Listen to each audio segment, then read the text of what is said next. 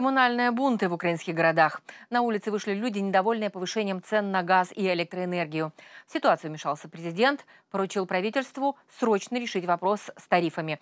А вот эксперты и вовсе заявляют возмущение украинцев преждевременно. Почему? Выясняли мои коллеги. Полтава, Николаев, Ивано-Франковск, Одесса, Харьков. Волна протестов накрыла сразу несколько регионов Украины. Люди недовольны повышением тарифов на газ и электроэнергию.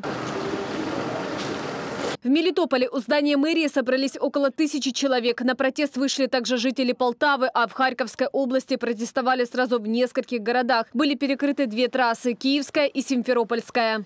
Ми вийшли іменно з- передати уряду міської ради в Харківгаз цим за повищення. Ми проти повищення цен. На до- відмінити доставку газу треба відмінити. Не повищення цен не должно бути на воду, на світ, на все.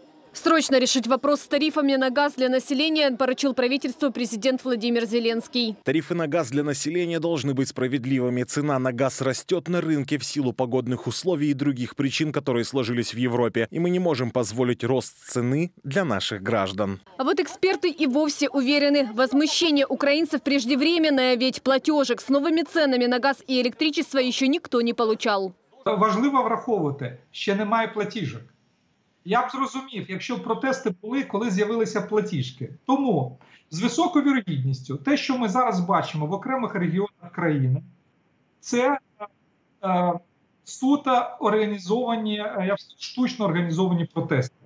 Глава фракции «Слуга народа» Давид Арахамия заявил, у монобольшинства есть собственный план антикризисных мер и подтвердил готовность нардепов принимать срочное решение в любое время. Главное, по его словам, разобраться, насколько обосновано повышение тарифов и как в этой ситуации защитить людей. Инна Мазаркевич, Наталья Белокудря, Киев, Харьков, Ивано-Франковск. Твой дом.